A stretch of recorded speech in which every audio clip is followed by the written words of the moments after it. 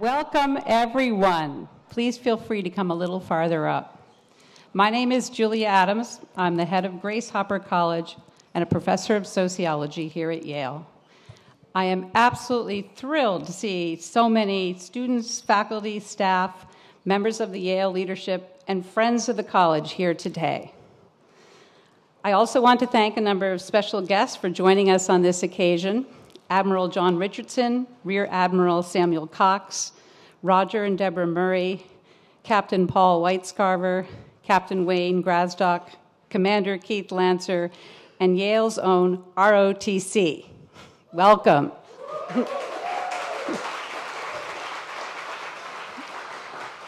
I would now like to introduce the Navy Band's Northeast Brass Quintet and musician third class Gene Register on keyboard. Will those who are able and who are not already standing please stand for the national anthem?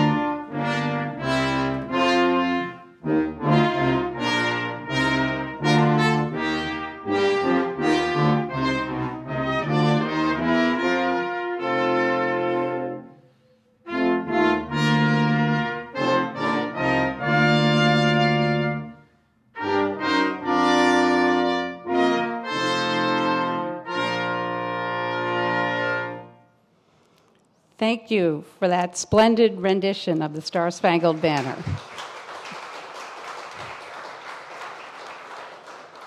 This occasion means a great deal to our community. We admire the astonishing achievements and spirit of Grace Murray Hopper and take inspiration from her extraordinary, accomplished life. This ceremony is also a symbolic culmination of years of discussion in the college and at Yale, some of it recently in this very room, the Roosevelt L. Thompson Dining Hall. How delightful that the confluence of talk, arguments, and decisions produced this excellent outcome and new beginning. What do names matter? People often ask us, and we have certainly asked ourselves. In fact, in that relationship among names, symbols, and the multifaceted biographies of the people behind the symbols, they matter a great deal. We do honor to those whose names are associated with a beautiful, beloved building and community, and we hold ourselves to high standards in so doing. We grapple intellectually with both the complexity of the lives and experiences that produce the people whom we honor and their impact upon the world.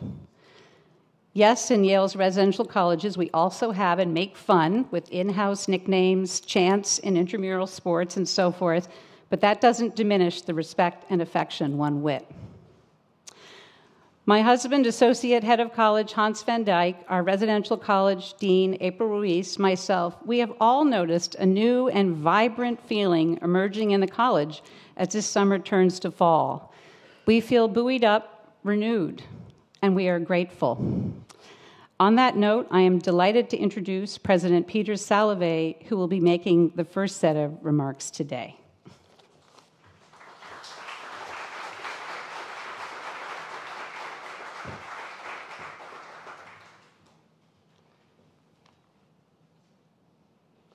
Thank you, Professor Adams. Welcome, everyone. Thank you all for being here today, being here to dedicate Grace Hopper College. I want to thank our distinguished guests who are with us today. As you heard, we're pleased that members of the family of Rear Admiral Hopper, her nephew, Roger Murray, his daughter, Deborah, could be here today with us. I want to extend our appreciation to Admiral John Richardson, the Chief of Naval Operations for the United States Navy, for joining us today as well. Thank you, Roger, Deborah, Admiral Richardson, for helping us mark a historic occasion. And it's a great honor to have you all with us today. This afternoon, we honor the life of Grace Murray Hopper, an extraordinary Yale graduate whose achievements span decades, changed the way we understand and use computers. And we also reflect on what her life means for us today. We know that our namesakes do not lie cold and still in the vast recesses of history.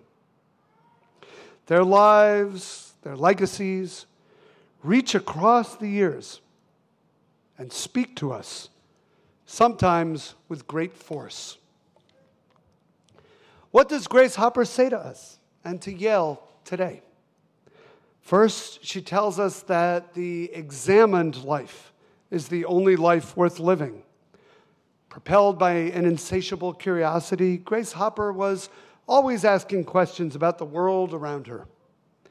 After Yale, where she received her master's and PhD in mathematics, she taught the subject at Vassar. After the bombing of Pearl Harbor and the U.S. entry into World War II, she wanted to serve her country. She enlisted in the Navy and was assigned to work on the world's first computer, the Mark I. From that time forward, Grace Hopper was constantly imagining new problems for the computer to solve, new ways to use the enormous capabilities she envisioned for it. Many people told her that computers could never do what she wanted them to do. Turns out they were wrong. Over the next several decades, she pioneered automatic programming and new word based computer languages. She made it possible for ordinary people to use computers, not just mathematicians and engineers. And she did all of this because she never stopped thinking. Her curiosity was truly endless. Second, Grace Hopper teaches us to embrace change. Humans, she loved to say, are allergic to change, but she wasn't. She encouraged her younger colleagues to take risks as well. She told them it was always easier to ask forgiveness than it is to get permission. By empowering them to think for themselves, she helped launch them on their own successful careers. Admiral Hopper was at the vanguard of a new era. At a time when opportunities for women, especially in math and engineering, were extremely limited, she charted a remarkable course. She insisted on her place at the table, in the laboratory, and at the helm. As we celebrate the history of women at Yale, soon 50 years at Yale College and 150 years at the university, we recognize Grace Hopper's trailblazing leadership and example. Finally, Grace Hopper's life speaks clearly to us about the importance of service. As a teacher, mentor, and distinguished naval officer, she served others and her country with courage and dedication. Admiral Hopper received dozens of honors and awards in her lifetime. But she said the highest award she would ever receive was the privilege and responsibility of serving proudly in the United States Navy. Today, Admiral Hopper calls each of us to discover a greater purpose, a calling worthy of our curiosity, talents, and creativity. I've always been more interested in the future than in the past, she once said. Today, we also look to the future, to the future of Hopper College. Here, students will live, learn, and challenge each other to live lives of meaning and purpose. One day, like Grace Hopper, they too will change the world. Thank you all for being here.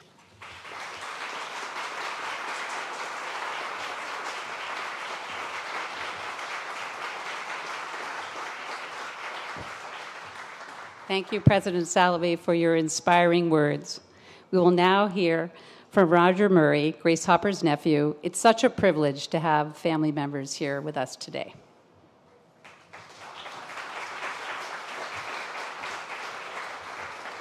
Thank you. I would like to thank Yale and all those who mentioned my aunt as a candidate for a residential college name for this, and for this wonderful honor. Although she left the academic world, my aunt was always a teacher at heart.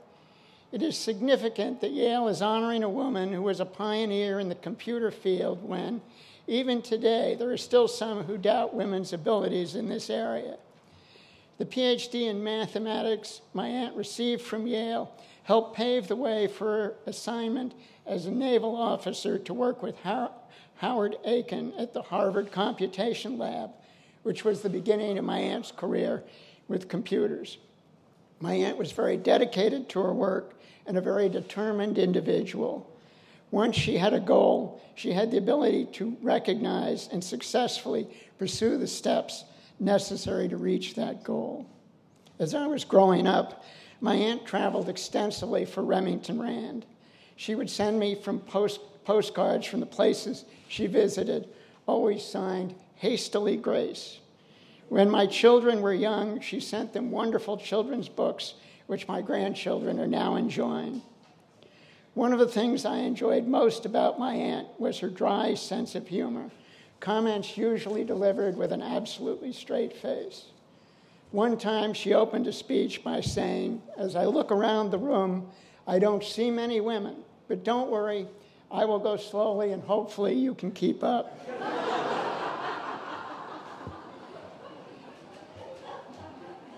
If my aunt were here today, I know three things she would say to you. As a naval officer, she would tell you that a ship in port is safe, but that's not what ships are for. Secondly, she would say, the most damaging phrase in the language is, We've always done it this way. That is why she had a clock that ran counterclockwise in her office. And lastly, and redundantly, she would tell you if it's a good idea, go ahead and do it. It is much easier to apologize than it is to get permission. Thank you.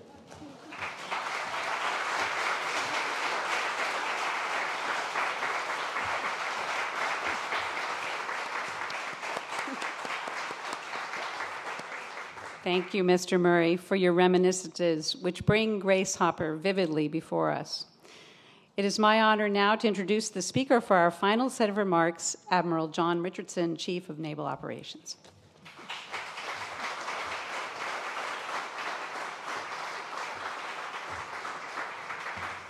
Well, thank you very much for uh, allowing me to speak today, President Salovey. Thanks for the invitation.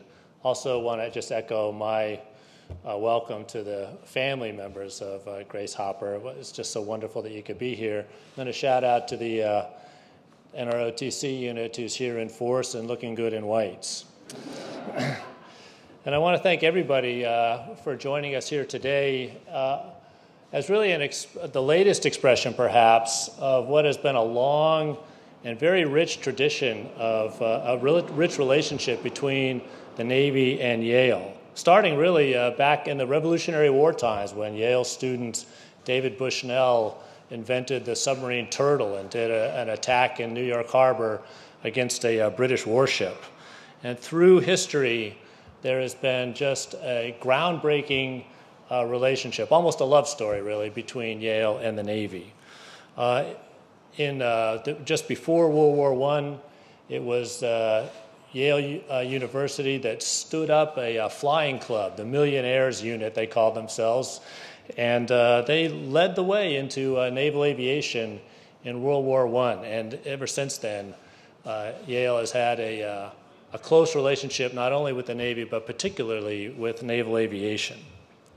In 1926, this is when the Navy first officially started the Naval Reserve Officer Training Candidate program. We started with six schools in 1926, Yale being among those original six schools uh, for that scholarship program. And then uh, through World War II, uh, a, a, vast relationship where Yale really opened its doors to uh, the Navy and other services to help uh, train officers and scientists and solve some of our hardest problems during World War II. And so it's truly an honor to be here at Yale uh, to celebrate that going forward. And it's what a terrific uh, choice to name this college after Admiral Grace Hopper, a renowned risk taker, as you have heard, a visionary leader in the field of computer science, and again, just an absolute uh, terrific choice to uh, name this college. And uh, you know, at the start of World War II, as you heard, uh, Admiral Hopper gave up her career really as an, a, a very accomplished university uh, mathematics professor to join the Navy under the uh, Women Accepted for Volunteer Emergency Service, or the WAVES program, perhaps the greatest acronym ever. You know, is, uh, and uh, and you know, you may not know this, but her initial application into the Navy was denied uh, because she was 15 pounds under the minimum weight requirement. And she was older than typical applicants at the time. And she also was working in a field, you know, critical and determined to be absolutely essential in the civilian workforce. But I'll tell you what, you know, there's a destroyer uh, that's home ported in Pearl Harbor named the USS Grace Hopper. And the call sign for that destroyer is Amazing Grace. And, uh, you know, that that weight limit was not going to stop Amazing Grace. And sure enough, she submitted a waiver, was accepted, graduated first in her officer candidate school class at the age of 37, and then became a naval officer. And as you've heard, during her 43 year naval career, Admiral Hopper pioneered work in the field of computer programming from her work on the very first computer, the Mark I, to her conceptualization and realization of the first compiler she really paved the way for the Navy in the digital revolution. And in many ways, we're still trying to catch up with Admiral Hopper's vision.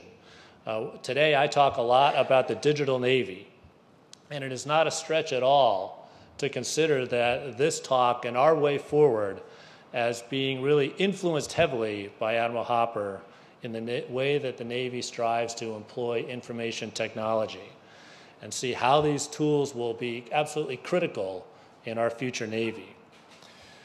You know, uh, in the 1970s, amongst her other accomplishments, Admiral Hopper advocated for the Department of Defense to replace these large, centralized computer systems with a network of small distributed systems where each user on the network could access information in a central database. You know, in many ways, what is second nature to us now, we call it the cloud. She envisioned this uh, decades ago. And this way of thinking is really the driving force behind our current efforts to network our fleet together in ways that are reliable, secure, and that provide maximum flexibility.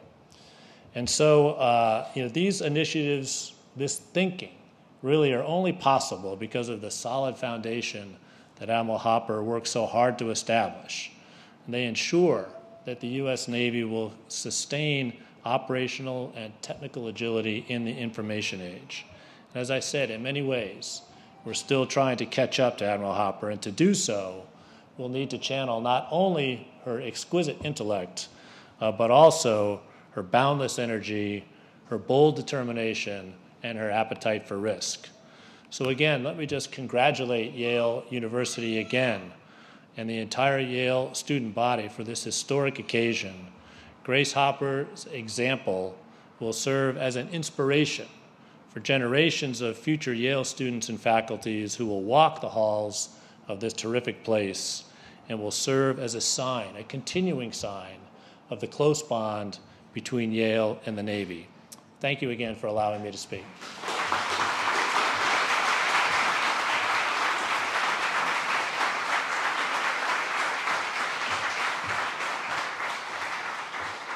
Thank you so much, Admiral. Your words mean a great deal to us all. We've now arrived at the blessing portion of our program, and so I'd like to invite Sharon Kugler, University Chaplain, to come to the podium.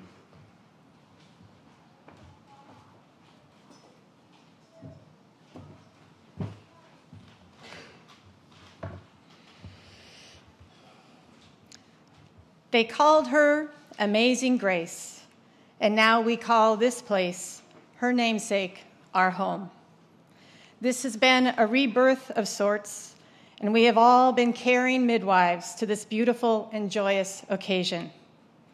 Grace Hopper had a tenacious belief in the virtue of service and the vast capacity of innovation. And though small in physical frame, she had a wide, vigorous embrace for the bright promise of the future. We can be reasonably confident that she would be beaming with pride and joy to see all of you gathered here. I confess that as someone who majored in math in college and who was a fan of her work way back then, I could not be more delighted to offer the blessing. I now invite you to join me in a spirit of prayer. Oh, divine mystery, you hold us throughout all our stories, and we are elated to be together in this space to begin a new one.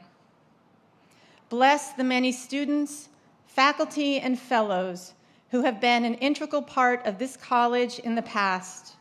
May they return often, smile at what they see, and take pleasure in their own cherished memories of time spent within these walls. Bless those that belong to this college now. Grace Murray Hopper is your home, and your considerable gifts will thread their way through its entryways, suites, rooms, tables, and courtyard, creating meaningful traditions and building a legacy that will inspire generations to come. Bless those whose labor makes this place feel like home.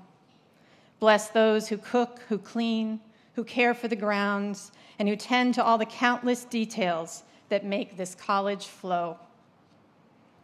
Bless those who lead this college as they cultivate an environment that nurtures our hearts, celebrates our discoveries, guides our way, and offers safe harbor in challenging times. May all of us who are part of this rebirth, this new story, be inspired by the life of Grace Murray Hopper. May we too be blessed with a tenacious belief in the great promise of the future. And may our hearts be stirred again and again by the story of one amazing grace. For this we say with great joy, Amen. I now invite Professor Adams, Dean Chun, and President Salovey forward for a special presentation.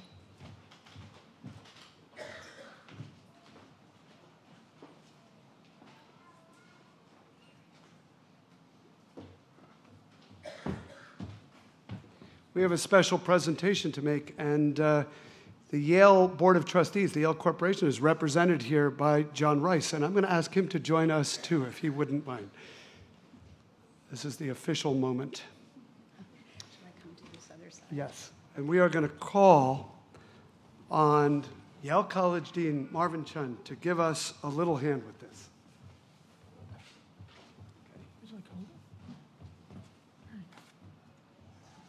Not yet. We're not giving to you. Oh. okay. Uh, yeah. So, so, an important uh, symbol of college identity is the ceremonial mace, uh, which is usually uh, kept hidden uh, until uh, the day of commencement um, for seniors.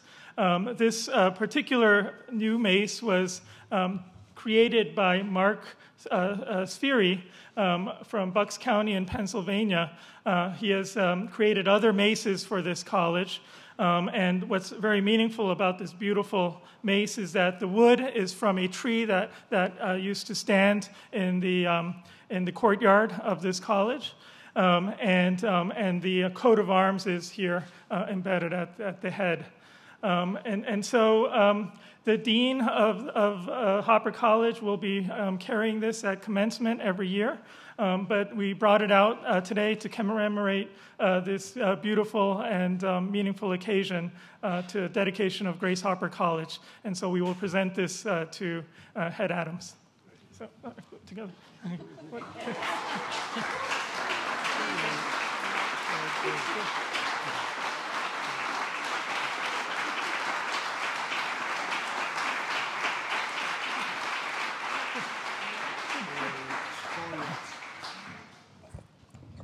Thank you so much. And thank you to all of you for sharing in this special ceremony. Now I'm going to turn things over to launch our celebration to the Navy Band Anchors Aweigh.